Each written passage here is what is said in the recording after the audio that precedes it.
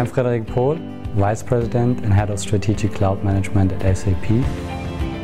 My team is responsible for orchestrating SAP's cloud strategy across our own infrastructure and our hyperscaler partners like Google. We're working in multiple dimensions and have a long history in working together with Google. The purpose of SAP is to help the world run better and improve people's life. We strongly believe in the power of AI and we have a unique position in bringing leading generative AI technology together with the vast amount of data that we are generating with our applications, providing our customers with unique insights and productivity gains. What I'm really excited about is the deep co-engineering relationship that our two companies have with our engineering teams working together in bringing out new leading innovations for our customers. RISE for SAP is a good example where we provide business transformation together. On the data side, we're working deeply together in bringing SAP Datasphere out, allowing our customers to connect SAP data with Google BigQuery data. When we turned to Google Cloud a few years back, um, we really felt the need for a comprehensive cloud transformation. Our technology stack has been growing heterogeneously over the past due to multiple acquisitions that we did, for instance, making it more complex for us to operate our cloud solutions.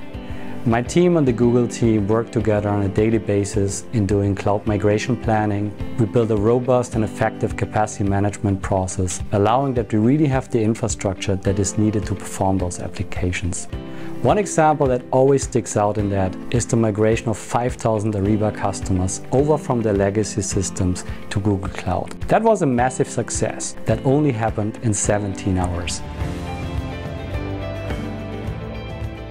We are using a very broad variety of Google products on their platform. We have more than 60,000 virtual machines in various flavors running on Google Cloud at the moment. We have 50,000 storage buckets that are live and about 150 million Google BigQuery tables that we are looking in.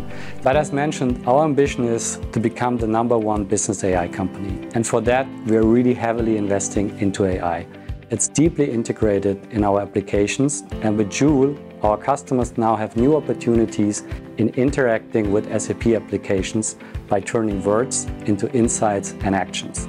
Google is a key partner for us in providing leading GenAI technology to our customers. Already today, our customers can use Google Vertex AI and Gemini via the BTP platform.